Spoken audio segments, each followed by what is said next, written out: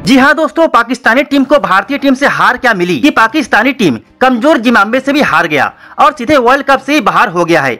इससे आप समझ सकते हैं कि भारतीय टीम से हारने के बाद पाकिस्तानी टीम को इतना गहरा सदमा लगा कि जिम्बाब्वे जैसे कमज़ोर देश से पाकिस्तान टीम जैसे मज़बूत टीम को हार का सामना करना पड़ा। दोस्तों, इस हार के बाद पाकिस्तानी टीम की जमकर आलोचना हो रही है। यहाँ तक कि पाकिस्तानी दिग्गजों ने भारतीय टीम से अब सीख लेने की सलाह तक दे डाली है। दोस्तों, जिम्बाब्वे के खिलाफ मिली पाकिस्तानी टीम के हार के बाद जो पाकिस्तानी दिग्गजों ने बयान दिया है और टीम इंडिया को लेकर जो बात कही है, उसे तो हम आपको बताएँगे ही। लेकिन उससे पहले आप सभी को क्या लगता है, पाकिस्तानी टीम किस वजह से जिम्बाब्वे से हार गई? कमेंट करके अपनी कीमती राय ज़रूर बताएँ। दोस्तों, भारतीय टीम के हाथों तो मिली हार का झटका पाकिस्तान टीम को ऐसे लगा है कि 15 दिन पहले न्यूजीलैंड में ट्राई सीरीज़ जीतने वाली ये टीम आज जिम्बाब्वे जैसी कमज़ोर टीम के सामने भी घुटने टेकती नज़र आ रही है।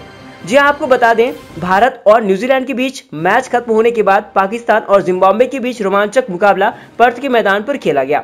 दोस्तों, भारतीय टीम ने तो नीदरलैंड को आँख उठाने का मौका ही नहीं दिया।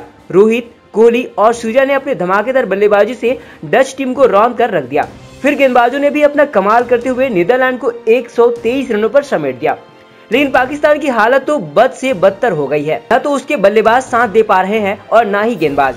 दोस्तों, जिम्बाब्वे के खिलाफ टॉस हारकर जब पाकिस्तान टीम पहले गेंदबाजी करने आई तो पर्थ की तेज उछाल वाली पिच पर सबको लगा पाकिस्तान के गेंदबाज जिम्बाब्वे को क्रीज पर खड़ा होने नहीं देंगे।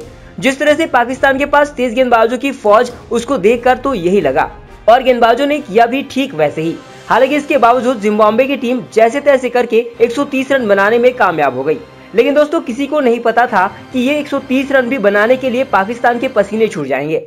जिम्बाब्वे की कमज़ोर गेंदबाजी के आगे पाकिस्तानी बल्लेबाजी थर थर कापेंगे। ऐसा पाकिस्तानी फैंस ने कभी नहीं सोचा होगा। जी हाँ आपको बता दें 130 रनों के लक्ष्य का पीछा करते हुए पाकिस्तानी बल्लेबाजी ताश के पत्तों की तरह ढह गई। बाबर आज़म और रिजवान की जोड़ी जिम्बाब्वे के सामने भी फ्लॉप रही। बाबर आज़म चार रन तो रिजवान महज चौदह रन ही बना पाए।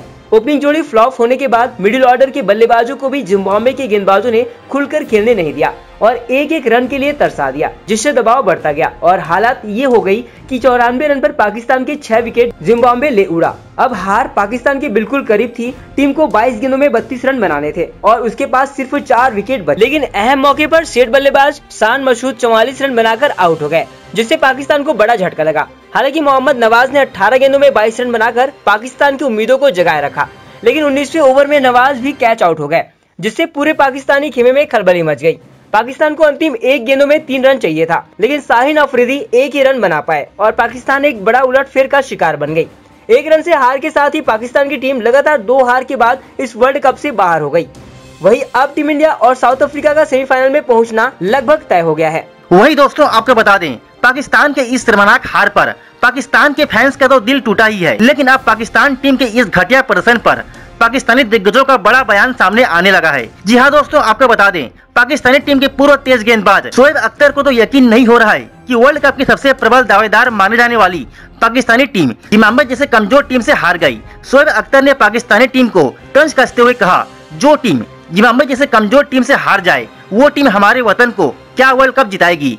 बल्कि मैं तो कहता हूँ, डूब मरो। और थोड़ा सा सीख, टीम इंडिया से ले लो। टीम इंडिया ने भी नीदरलैंड जैसे कमज़ोर टीम के साथ मैच खेला। लेकिन भारतीय टीम ने जिस तरीके से नीदरलैंड के खिलाफ धीरज और सहनशीलता वाली खेल दिखाया है, वो धीरज और सहनशीलता हमारी पाकिस्तानी टीम के पास तो बिल्कुल भी नहीं है। इसलिए उनके खेल को देखकर कुछ सीख लो या फिर डूब मरो। वही दोस्तों, पाकिस्तानी टीम के पूर्व कप्तान इंजमाम उल हक ने भी कहा, इतना घटिया प्रदर्शन की उम्मीद हमारी टीम से नहीं थी।